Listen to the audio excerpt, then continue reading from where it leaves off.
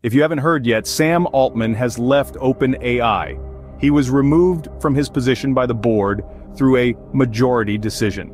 The specifics are somewhat vague, but it seems the board lost confidence in his leadership, citing a lack of transparency. In a surprising turn of events, shortly after Altman's departure, OpenAI's president, Greg Brockman, also resigned. In his message to the OpenAI team, Brockman expressed pride in their achievements over the past eight years, acknowledging both the challenges and triumphs. However, he decided to step down following the recent developments. Now let's dive into what we've learned about this situation. After Altman's exit was announced, details began to emerge primarily through a leaked transcript of an internal meeting at OpenAI. It appears that the central figure in this drama was chief scientist Ilya Sutskever. Disagreements and power struggles involving Sutskever, Altman, and Brockman seem to have escalated, leading to the board siding with Sutskever.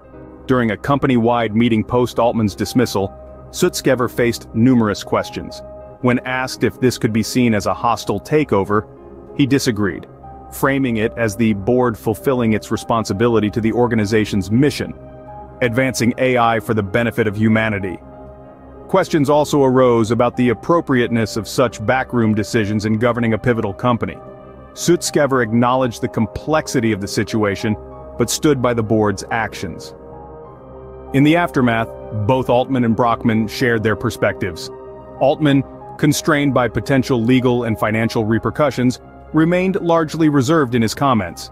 Brockman on the other hand shared a timeline of the events, revealing how abruptly and unexpectedly the board's decision came about. He detailed receiving a message from Sutskever and the subsequent board meeting where he learned of his and Altman's removal. Interestingly, it appears Microsoft, a key partner of OpenAI, was also caught off guard by these developments. Their CEO, Satya Nadella, reassured stakeholders of Microsoft's continued collaboration with OpenAI despite these changes. As for OpenAI's future, the team remains committed to shipping magic and advancing their mission.